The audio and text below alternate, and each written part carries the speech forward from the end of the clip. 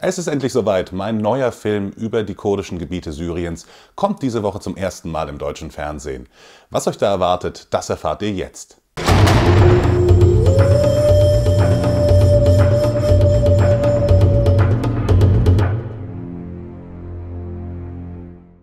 Ziemlich genau zwei Jahre ist es jetzt her, dass ich mich zusammen mit meinem Field Producer und gutem Freund Joan aufgemacht habe, und zwar in den Nordosten von Syrien, wo ich unbedingt einen Film drehen wollte über den damals aktuellen Stand und das Leben der Menschen in den kurdischen Gebieten.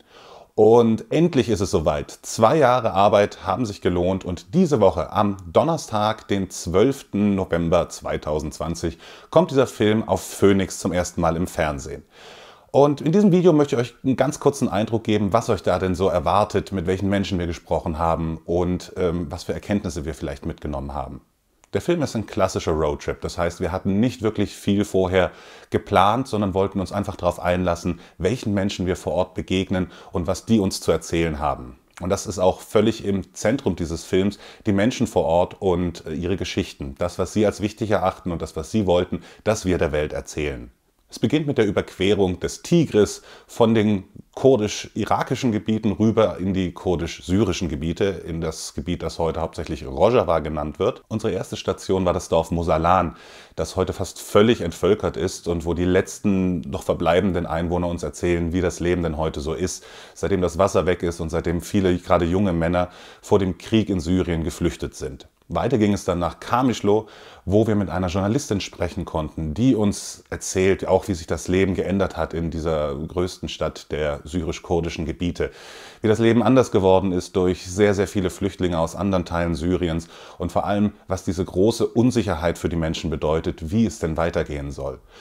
Ich erinnere daran, das war 2018. Das war ein Jahr, nachdem der IS offiziell besiegt war und äh, auch ziemlich genau ein Jahr bevor die Türkei in Rojava einmarschiert ist. Das heißt, es ist ein Zeitdokument aus einer Epoche, die jetzt äh, leider schon Vergangenheit ist, aber es zeigt sehr gut, welche Ängste die Menschen damals hatten und welche sie wahrscheinlich heute genauso haben. Wir konnten mit Menschen sprechen, die direkt neben Ölraffinerien leben, sehr steinzeitlichen Ölraffinerien, die jedes Mal, wenn die Sonne untergeht, anfangen, ihren Ölmüll, ihre Abfälle zu verbrennen was zu unglaublicher Luftverschmutzung führt. Und die Menschen dort erzählen uns, was das für sie und ihre Kinder bedeutet, nämlich unter anderem Lungenkrankheiten, Hautausschläge bis hin zu Fehlgeburten. Wir sind weitergefahren nach Westen und zwar nach Kobane, eine Stadt, die vielleicht viele von euch noch kennen, die zu einem Symbol wurde für den Kampf gegen den Islamischen Staat. Ähm, wer sich nicht mehr genau erinnert, Kobane war wirklich fast erobert. Kobane, eine Grenzstadt direkt an der Grenze zur Türkei, war bis auf wenige Häuserzeilen von den Islamisten erobert und nur durch massiven Einsatz von, von kurdischen Kräften aus allen kurdischen Gebieten und der Unterstützung der USA durch Luftschläge konnte diese Stadt vom IS zurückerobert und befreit werden. Und auch heute sieht man die Narben, die diese Schlacht hinterlassen hat unter anderem in zerstörten Gebäuden, aber auch ganz besonders in den Herzen der Menschen. Und das wird deutlich, als wir auf dem großen neuen Friedhof in Kobane waren, wo Tausende von Kämpfern, gefallenen Kämpfern heute liegen und wo wir mit jemandem sprechen konnten, der seinen eigenen Bruder in der Schlacht gegen den IS verloren hat. Nach Kobane haben wir die hauptsächlich kurdisch dominierten Gebiete verlassen und haben uns auf den Weg nach Raqqa gemacht. Raqqa, das war die inoffizielle Hauptstadt des IS, von wo aus äh, dieses islamistische Kalifat sich seinen, seinen Terrorweg durch ganz Nordsyrien bis hin in den Irak gebahnt hat. Und wir waren da ziemlich genau ein Jahr, nachdem Raqqa letztendlich zurückerobert werden konnte. Und äh, wir haben im Stadtzentrum, wo früher Menschen getötet, enthauptet, gekreuzigt wurden, haben wir mit den Leuten vor Ort geredet, ähm, in sehr, sehr angespannten Interviews, weil wir da hauptsächlich wirklich nur 10 Minuten, 15 Minuten an einem Ort verbringen konnten, weil die Sicherheitslage heute noch sehr, sehr, sehr ähm, schlecht ist. Ich weiß, ich glaube, einen Tag bevor wir da waren, gab es einen Anschlag, gab es Gefechte. Am Tag, als wir da waren, gab es einen Autobombenanschlag. Ähm, man sieht also, die Lage, zumindest 2018, war immer noch sehr, sehr gefährlich. Und nach Raqqa kamen wir zum vielleicht schwierigsten Interview, das ich in meiner bisherigen Karriere führen konnte, nämlich mit einer Deutschen, die sich dem IS angeschlossen hat.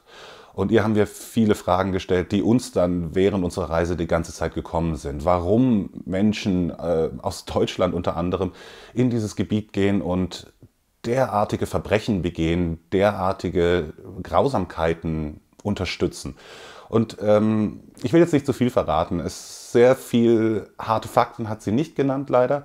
Aber sie hat dann doch, glaube ich, ein sehr aufschlussreiches Interview gegeben, um zumindest zu verstehen, was in den Leuten vorgeht und wie Leute ticken, die sich dem IS angeschlossen haben, gerade auch aus Deutschland. Also, wenn ich euch jetzt ein bisschen neugierig machen konnte über den Film, der den Titel Vernarbtes Land trägt, dann schaltet einfach ein. Donnerstag um 16 Uhr. Das ist Donnerstag, der 12. November 2020 auf Phoenix. Und ich hoffe danach auch in der Mediathek. Ähm, wer den Film um 16 Uhr verpasst und nachts noch das Bedürfnis hat, ihn zu sehen, um 3 Uhr nachts wird er nochmal ausgestrahlt und ich hoffe äh, in Zukunft immer wieder öfters. Also, es würde mich sehr, sehr freuen, wenn ihr euch den Film anschaut, wenn ihr euren Freunden und Bekannten, die sich vielleicht für dieses Thema interessieren, Bescheid gebt. Und ähm, ja, wenn er euch gefallen hat oder wenn er euch nicht gefallen hat, dann meldet euch einfach hier bei mir. Es würde mich sehr, sehr freuen und ich werde auch in den nächsten Tagen noch öfters mal auf diesen Film hinweisen. In diesem Sinne, einen schönen Tag noch.